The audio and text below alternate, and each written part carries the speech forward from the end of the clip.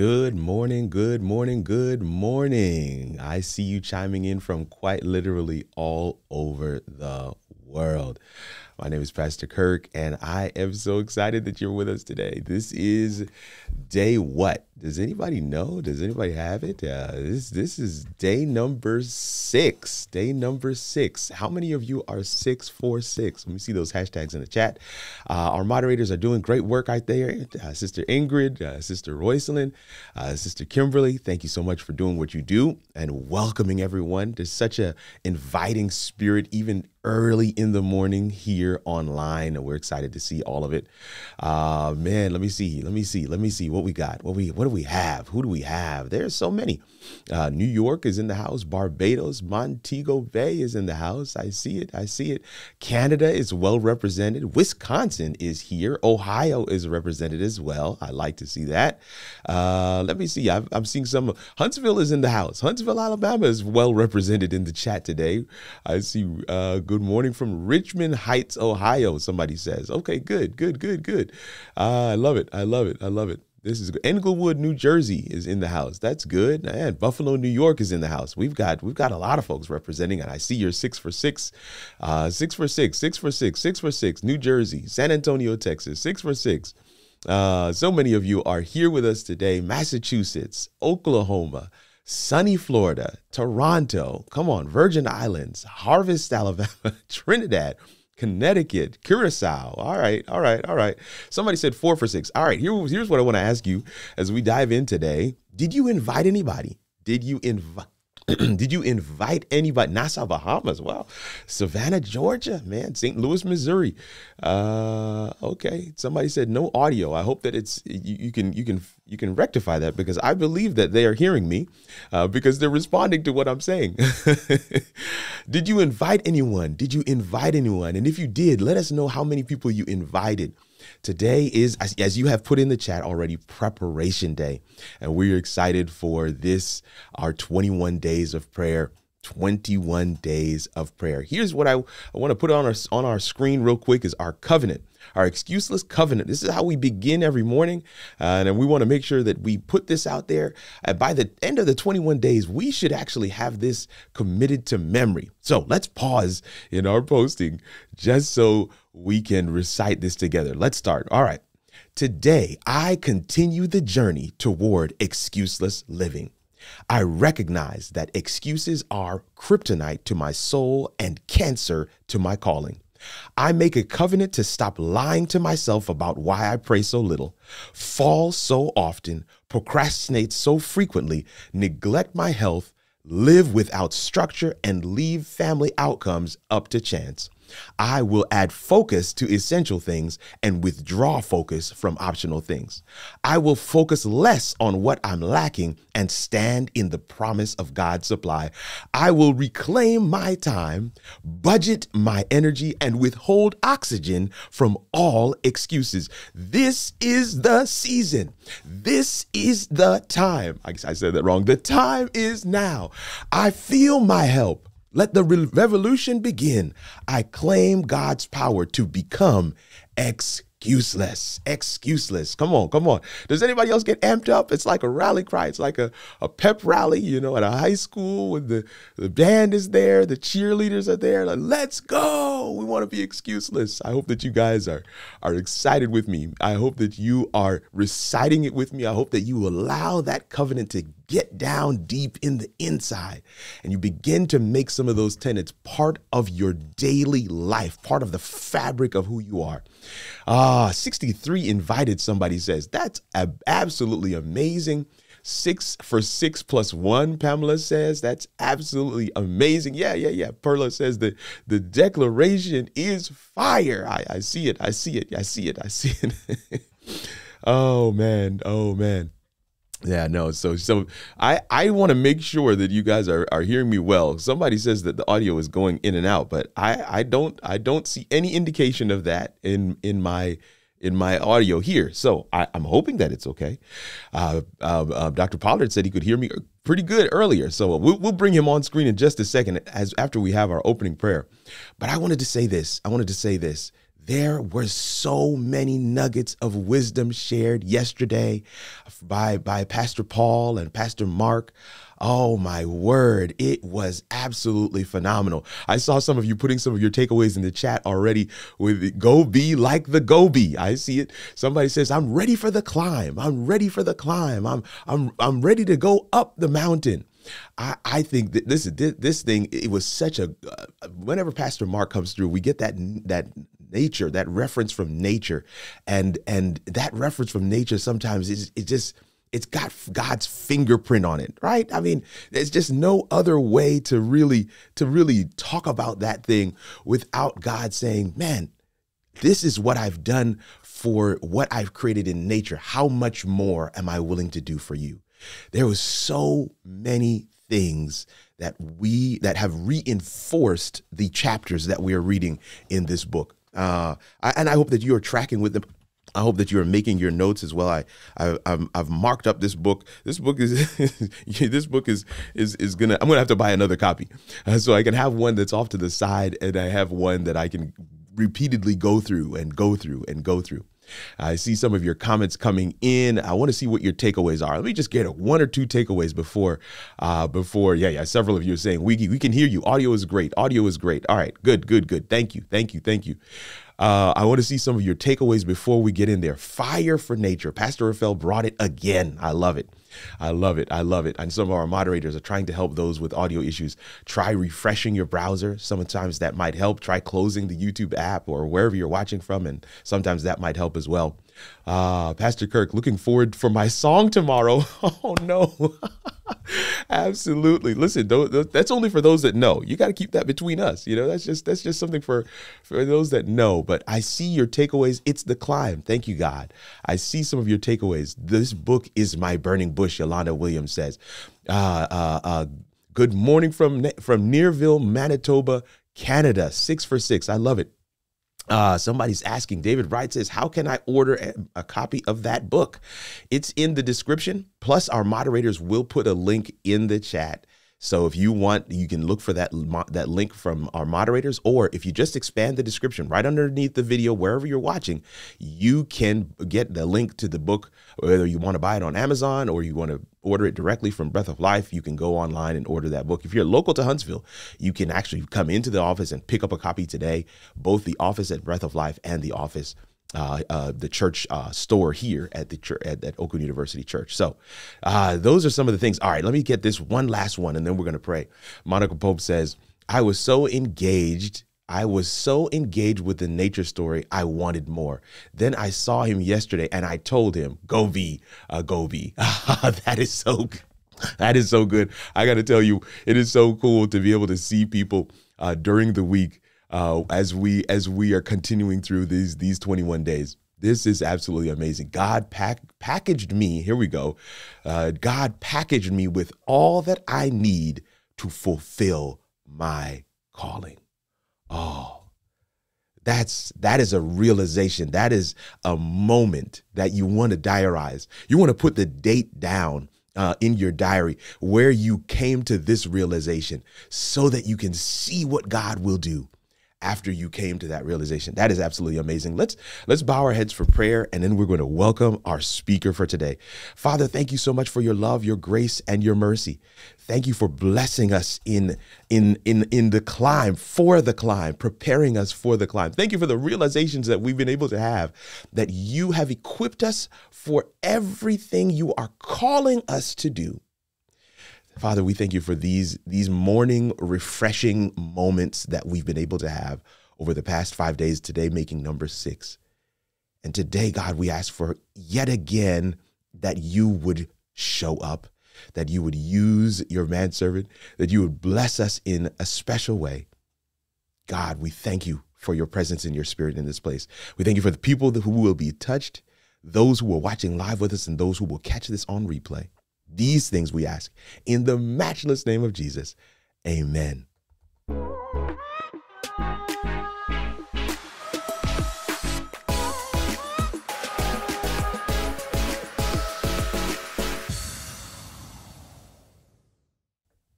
Ah, we want to say a word of welcome to Dr. Pollard. How are you today?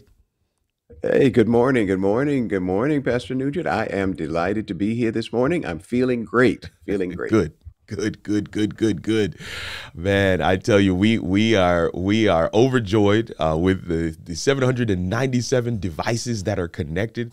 Uh, we say devices because you know two or three, maybe even a family could be watching on one device. And so we don't know Absolutely. how many people are watching.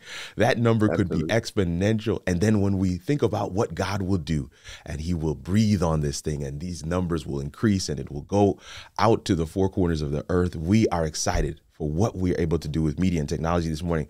Doc, we uh several people in the chat are saying good morning, Dr. Pollard. I, I just want to make good sure morning. that good we morning. all get a chance to greet you and uh, and uh, thank you for for being with us early this morning. I know this these are your hours. I used to get text messages from you uh, around these times. so these, best, this, this, this is your time. My best work gets my best work gets done early, early, early, early in the morning. And uh, listen, so, yeah. I, I, I, if you study, if you study the habits of successful people, you you will find that they are up right around four or three, even sometimes. They it's are. crazy. But well, we, we're excited to have you here. I have a quick question for you, and then we're going to let you loose. One of the, okay. the, the, the questions we've been asking all of our speakers uh, day to day is what is what is the air what are some of the areas or maybe just one area that you want to hone in on that you hear God saying in this particular area no more excuses you know, we, we got a chance oh. to ask oh. this question of several of our our, our, our, leaders and speakers and, and, and teachers from from morning to morning. Uh, but I just feel it makes it so practical when we're able to share with others. Like this is where I hear God saying, "No more excuses." Doc, share with us. Okay. Okay, so thank you very much. So I've heard that through the years on one point, and, and God has helped me because I'm able to help other people with it. Mm. Uh, when I was when I was six years, my mother and father were never married, and uh, when I, you know, Kirk, when people see certain things, especially if they see certain letters behind your name, they project a certain kind of childhood and family that must have produced that. But Mm. but in my case, it's just the opposite. My mother and father were never married, and um, my father had two different lives. And I, I know I'm the only person who's ever been born into this situation. So I have to explain it for people. I say that tongue in cheek. Um, but I remember one. I, I, remember one day. I remember one day that he uh, he said to me. He said to me, uh, I, I my bicycle. I just got a brand new bicycle. Picked up a flat. I was trying to fix it at six years old, and he said to me, "I said, Daddy, can you?" And he said, "Don't ever call me Daddy again." Oh man oh man. and I remember there were there were times when I when I when that thing ached even into my teen years and that kind of thing. So I, I get to Oakwood and I'm in a week of prayer. And uh, and and just like these these moments we're having here, Kirk, I'm in a week of prayer. I'm at Oakwood as a freshman student. And one of the speakers starts talking about how God can heal the hurts of the past. And I said, God, you're going to have to heal me so I can rise above this. I can't drag this around like a ball and chain. And everyone, everyone that we meet, uh, Kirk, is, is dragging around something like a ball Yeah. and chain. Yeah. And you've Yeah. got to decide that God is going to free you from it. And once God freed my spirit from that, I was able to soar. But more than that, I was able to use that experience to connect to other young men, especially African American young men Mm. who who who had experienced the father wound. Yeah. Um, and it was a it was an amazing moment, and God gave me freedom from that. So that was an area where I couldn't make excuses. I couldn't blame. I, you know, I understand now. I'm a man. I understand. He couldn't afford for me to call him daddy when he's got two lives, and I may see him in Mm. public in a small town. I'm I'm a I'm an adult now. I I understand better. I forgave him before he passed. It, you know, because I needed to get it out of my spirit. You know what they say: forgiveness. Um, to not forgive is like drinking poison and hoping the other person will die. Mercy. Um, yeah, it's like Yeah. drinking poison and hoping the other person will die. So, so once you get that out of your spirit, you're free to soar. And God You know, continued to take me to places that I never ever, a little simple boy, more than 60 different countries around the world. I, I, I can't, I can't ask for anything else. No excuses. No excuses. no excuses. You know, you, you know, you you raise a a major issue, uh, especially within the black community, and and particularly among among men. Uh, uh, but Yes. you Yes. know, you you perfectly couch it in the phrase "the father wound," And Mm-hmm. there are those who may not even understand what that means because they've not done Mm-hmm. some of the work, or maybe they don't suffer from that particular Mm-hmm. uh, issue. But I, I mm-hmm. want to just say to to someone out there who your excuses have been around the area of going to get some therapy. Your excuses mm. have been around in the area of going and kind of dealing with some of those wounds and those deep seated hurts in the past mm-hmm. so that you can be free to move toward your future. And one of the things I absolutely love that you shared there, Doc, is that you now use that experience to resonate and connect with those who have been hurt in the same way.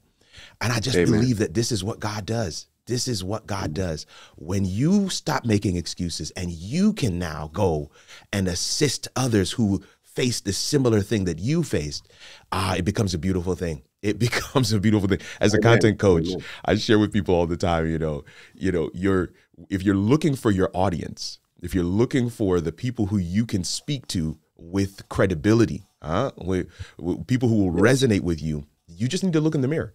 You need to just kind of create your own profile. Think about who you are and where you've come from and your experiences. Like for me, third culture kid, uh, child of immigrants, uh, former missionary. There's so many little things. As you start to stack them, you start to see a profile emerge. And there are people you can speak to because of your experience that no one else can speak to. And I love what you just shared there. Man, it's such a such a, a Amen. powerful share right here at the beginning. And this is why we do it. And I see several of you in the comment section just just kind of going for it. So so so Doc, thank you so much for sharing there. We're going to turn the time over to you. I know you have some some things you want to share with the folks. So Oh, we want to turn the time over to you. Well, let me, thank you, Kirk, and I'll, I'll, I'll jump right into it. Let me thank, of course, uh, Pastor Snell and the team for the invitation.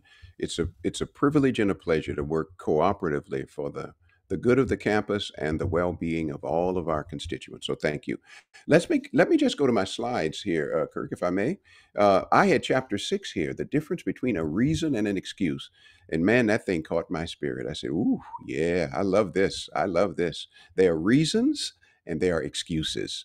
Uh, and then I went to this uh, this consultant, Gary Blair, who has this amazing statement uh, around this, and I, it's kind of blunt, but when I, when I look at the statement, it's kind of blunt. He says, "I have a confession to make." He says, "I'm pretty fed up with all the thumb suckers." I told you it was blunt. Now you know, so so put on your seatbelt. It's kind of blunt. I'm pretty fed up with all the thumb suckers in this world. I'm talking about the people who are constantly whining, complaining, rationalizing, and justifying why their life is a succession of bad luck and unfinished endeavors. I'm talking about the people who start projects but somehow never find a way to finish them. I'm talking about the people with the highest intentions but who deliver the lowest results. Now, watch this. This is the part that caught my attention. These people are more interested in arriving at success without having to do the heavy lifting themselves. They refuse to accept the reality that they must do their own push ups. Kirk, I like that one. I like that one. They must do their own push ups. Nobody can do your push ups or my push ups for me. We have to do them. And so that's what I like about that quote. It's kind of blunt, but it, it wakes you up in the morning. And you say, Yeah, am I doing my own work? Am I putting in the time? Am I giving myself the opportunities? Am I striving for success or significance? And we can talk a little bit about that. That's Oprah Win- Winfrey's distinction. She said, If you go for success, you will be burdened by that. But if you strive for significance, making life better, making the world a better place, then you will be happy along the way. So, in chapter six of the book, Pastor Snell has a wonderful chapter on the difference between a reason and an excuse. And I went out and I started kind of looking around and saying, okay, let me see what the difference is. So, excuses are not reasons, and reasons are not excuses. So, let's compare the two. A reason, and we'll go down them in the column. A reason. A reason is a fairly is a logical, fair, reasonable, and defensible explanation for an existing set of circumstances. A reason. Um, Stevie Wonder was born, well, he wasn't born blind. He was given too much oxygen, we are told, at a time when that was one of the therapies used on children that may have been preemies or, or infants who were struggling. And there's a reason he's blind. It destroyed his retina, et cetera, et cetera. There's a reason he's blind. But he never used blindness as an excuse for not doing music. But there is a reason, a reason. And I can give example after example like that. A reason for being late to a meeting. There's a reason. My car wouldn't start. That's a reason. My car didn't. I get in. I give myself enough time. I get in. The car doesn't start. There's a reason. Um, reasons give us information and context that are necessary to understand the needed action steps to remedy the situation. Now, I think that's what's important here. As I read the chapter before we get to the biblical text, um, reasons always imply what the next steps will be. Okay, so if my car didn't start, if I was late because my car didn't start, the next step was either to get a new car, get a different car, get somebody to give me a ride, get the car fixed. It implies next steps. Now, what are excuses? Excuses. Wow. An excuse is something that we use, as one writer said, to deflect blame. Excuse is a way of not taking responsibility. And we'll look at some of those excuses in the life of Moses. Excuses are given out of a desire to avoid consequences. Excuses, and this is, these are the three excuses produce inaction. Oh, well, nothing I can do about it. Oh, well. Excuses avoid responsibility and they justify failure. They're not reasons, and reasons are not excuses. So, as we look at the biblical text, um, Moses had excuses why he couldn't go. God had reasons why he should go. And that's the heart of that chapter. So let's look at a few of Moses' excuses. Now we're going to look at the biblical text. So, given that backdrop, let's look at the biblical text. So Moses had many excuses. So if you're following in your Bibles, Exodus 3:11. Moses had the I'm not good enough excuse. All right. Um, the self esteem excuse. Um, God, you know the story. God used an ordinary burning bush to show Moses his message. The bush wasn't special on its own, but it became an instrument in God's glory. The bush was burning, but it was not consumed, which was an odd thing. Now, Moses in the wilderness had seen many bushes that were burning and had consumed and finally gone out. But as Moses observed this bush, this bush never, ever, ever went out. And he knew that that was odd. And so you know the story how he stops at the burning bush in Exodus 3. God speaks to him out of the bush, and Moses begins to give his excuses, the self esteem excuse. I'm not good enough. Um, it reminded me of the story of Gideon, Kirk. Uh, the story of Gideon when when when the angel showed up and said to Gideon, "Gideon, thou mighty man of valor," and and and and Gideon said, uh, "Who me?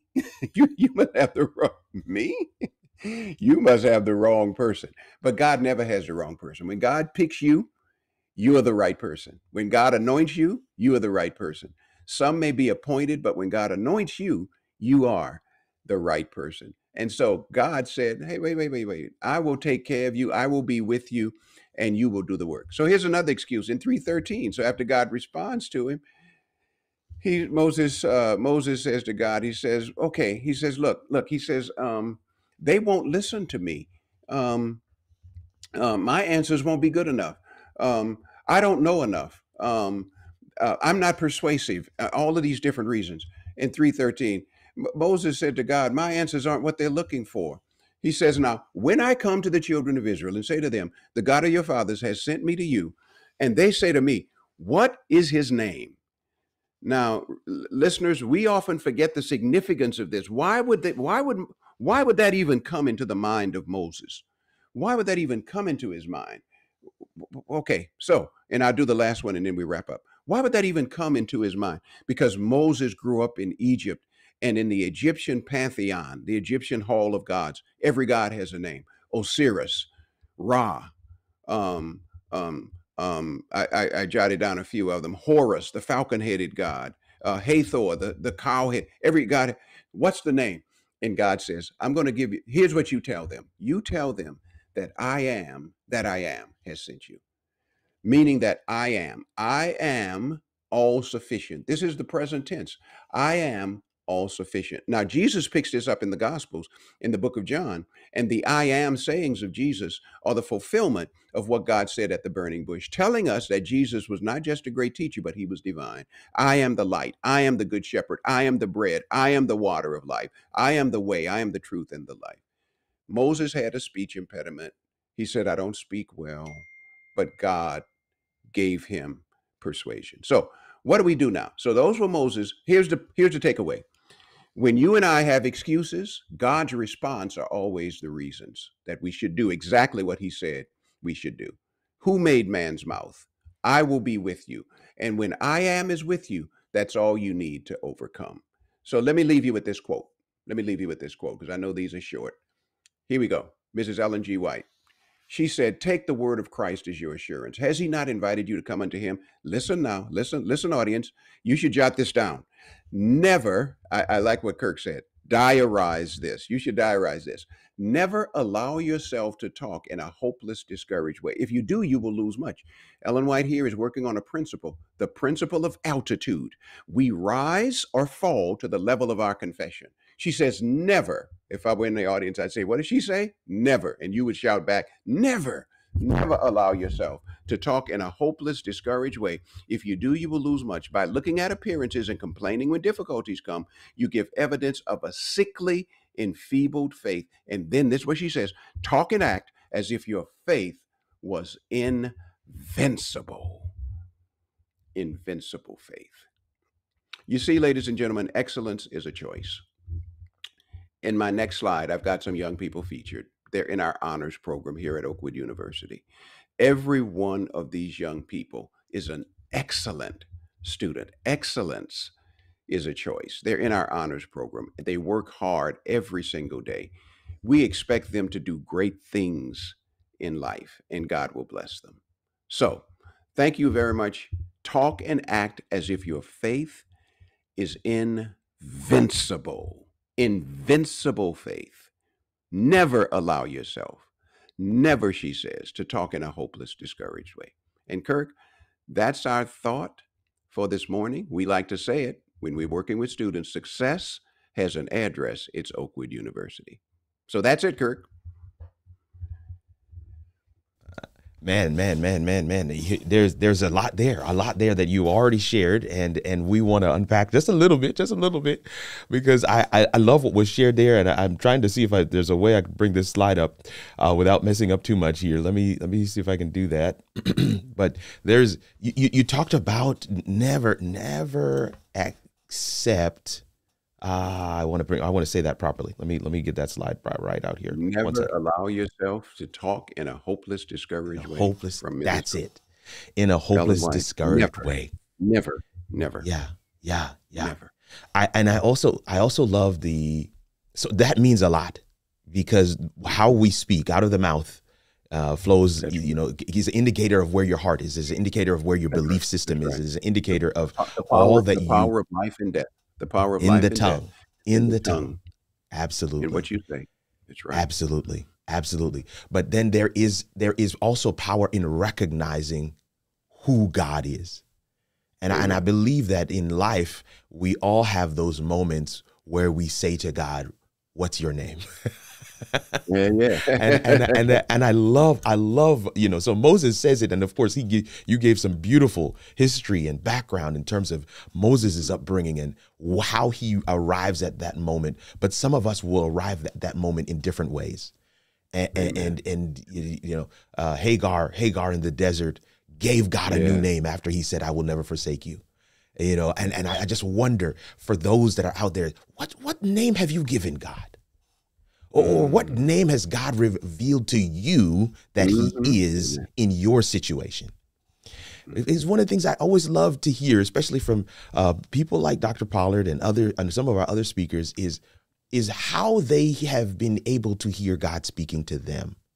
It is an Amen. indicator, it is an example that we are not devoid of this, right? For the person who's watching online somewhere, that you just because Dr. Pollard is who he is does not mean he has more access to God than you do. Doesn't mean that God will not reveal himself to you in ways that he has not revealed himself to others.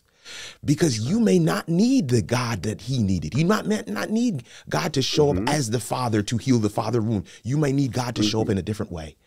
And so mm-hmm. my question then becomes even as we look at the chapter, as we look at the chapter, the difference between a reason and excuse.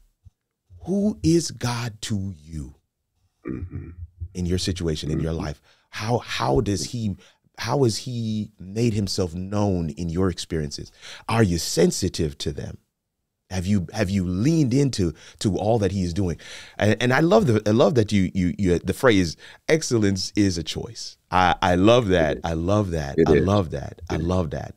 And especially as we talk about excuses and reasons, there there's so many examples that, that, Pastor Snell put in the in the chapter of those who should not have been Mhm. in, in excellence. They they chose it despite all that they had to deal with, all that they had to overcome. And, and I hope that we all fully grapple with that thing and and come out on the other side understanding where you need to put your focus, your energy, and your your your your your efforts.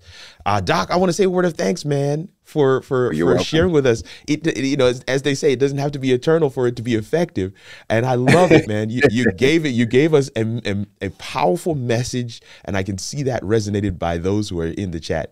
Uh, we want to go into a time of prayer.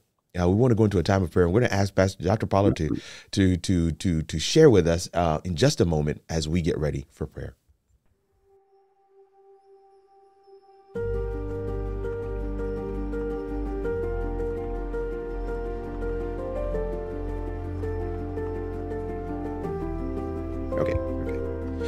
Oh, okay. All right. So so this is our time.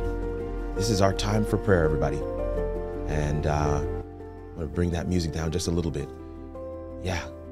They didn't let their reasons become excuses, somebody says in the chat. We, we thank you for that. Now, we have been praying specifically over some very specific things over the last couple of days. Uh. I, I, I feel led today to pray over those who are struggling, uh, where to put certain things. Should they put them in the excuse column? Should they put them in the reasons column? Mm. Those who are struggling to categorize the experiences that punctuate their lives, Mhm. not recognizing that some of them could be fuel for the fire to achieve all that God is calling you to do.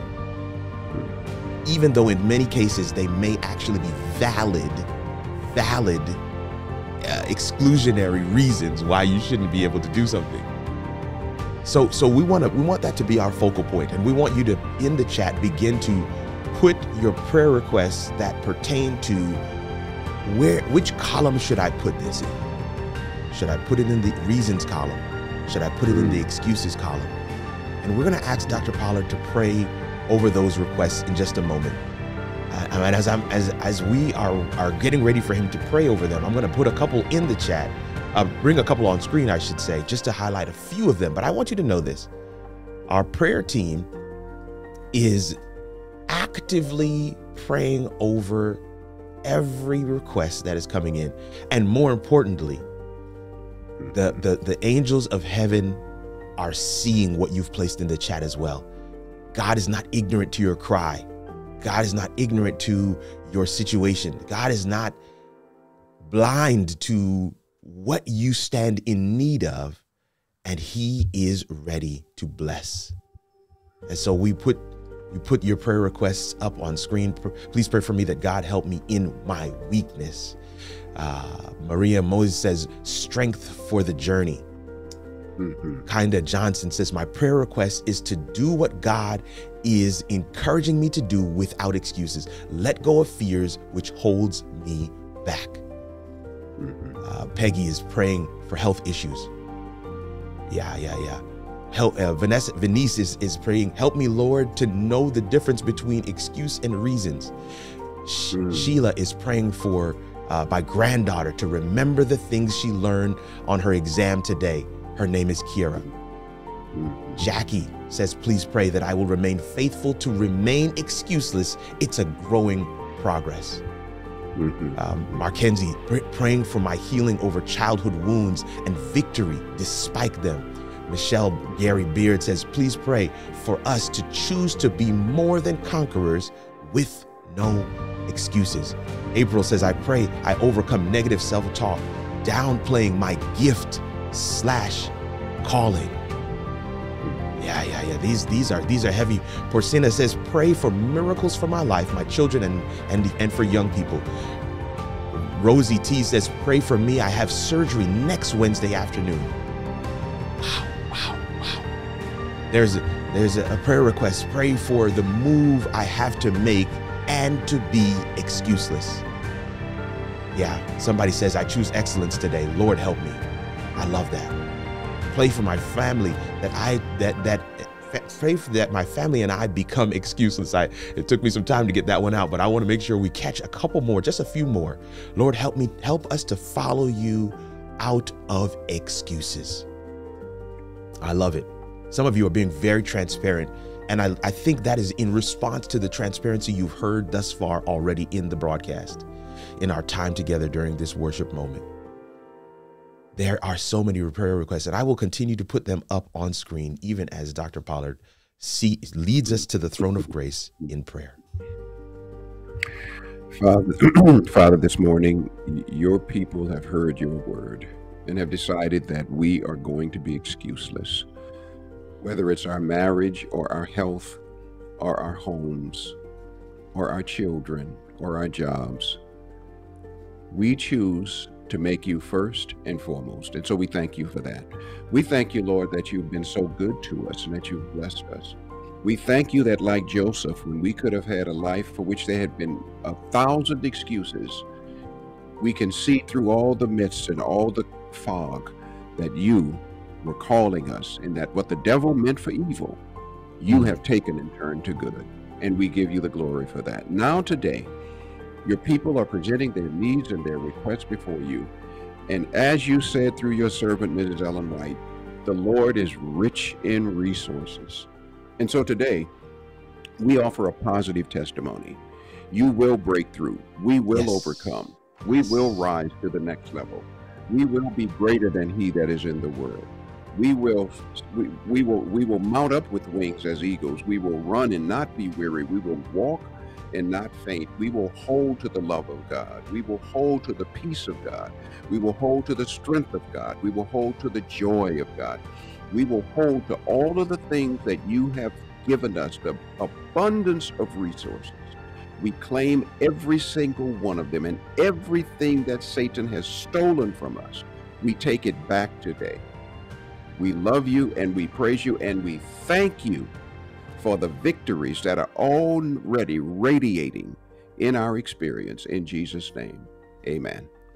Amen and amen and amen. Thank you, Doc, for that powerful prayer.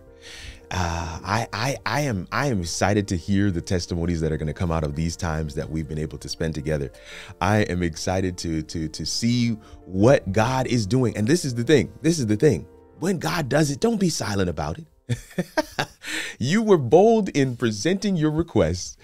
Be mm-hmm. bold in sharing how the Lord delivered, how the Lord came through, how you were able to see fresh perspective on that thing that you thought was a reason, and you began to move it into the excuse column.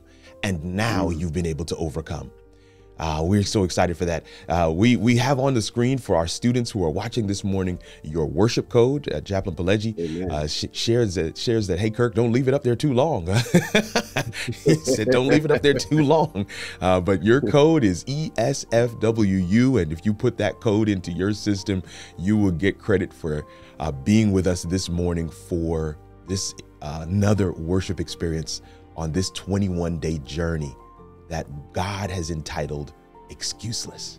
Uh, we're excited for that. We're excited for all of the requests, uh, all the different things that we're seeing in the chat.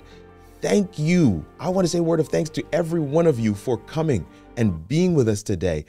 We, we, we, we, we, this, this space that we are in, we don't take for granted that you could be doing something else, that you could find a different way to start your day, that you could uh, uh, read another book, you could find another broadcast. But we know that God led you to this particular space today, and we are thankful that you are here. And we want to say a word of thanks to you, uh, Dr. Pollard, for coming this morning and sharing with us on the differences between a reason and excuse. And of course, also sharing your very personal testimony and and I know that it has resonated with those who are are, are watching and we will hear from them uh, even as the week continues on. It's preparation day, y'all, uh, and I hope that you are going to have some, you know, if you have some some kind of routine. If you if you haven't already, uh, make sure you check out the Breath of Life broadcast tonight um, on the Breath of Life YouTube channel.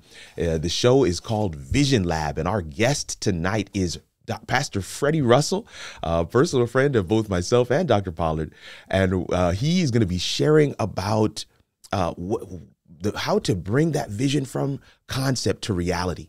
What happens when you don't see enough resources around you when you receive that vision from God? It's very much in line with what all we've been talking about in terms of being excuseless. Uh, that is the the Friday night uh, program. It's called The Weekend Exhale with BOL. It is tonight at 8 p.m. We want to make sure that every one of you get a chance to see that and come hang out with us tonight and uh, and be able to take advantage of the nuggets of wisdom that will be shared in that conversation. Uh, Doc, any any final words as we get ready to close it out?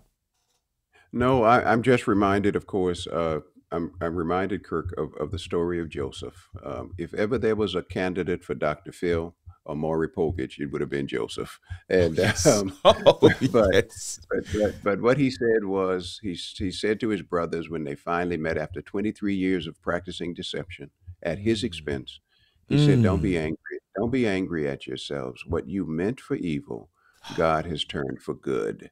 And that's the ultimate statement of faith. He didn't make any excuses. He said no. He processed it. He said, "Don't beat yourself up. Don't don't hate yourself." You sold me, but God sent me. He said, Mm. so to anybody listening today, you may think these experiences come to you randomly and that you are the victim. You are not the victim, you are the victor. That's what Joseph said. I was not a victim, I'm the victor. He said, God has been good to me, and he did this so that I could help you. The story of Joseph illustrates the difference between reasons and excuses. and excuses. Oh, wow. Whew. we got we got we got we got another message right there at the end you know? That's a whole message right there at the end. Thank you thank you thank you. Dr pollard i i love this. You know it was it was uh you know a brainchild of our leader dr pollard uh, pastor snell to be able to uh, make sure that the whole campus community was incorporated Amen. in these 21 days. And you have been a welcomed addition to these oh, to this speaker lineup. And we just want to say a word of thanks for, for you and your team. I know Chaplain Pledgy will be joining us, and we have somebody from Oakwood Academy. Uh, Pastor Taylor, Rashid Taylor, will join us at some point during the our, our lineup of, of, of 21 day speakers. And we're excited to see the entire campus community come together and, and take part in this, what we are calling a revolution.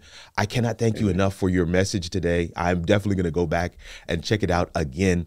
Family, make sure you are sharing. Make sure you are sharing. Make sure you are sharing. We're going to let you go early today, and we're excited about that. We're hoping that this becomes a trend that we can let you go early.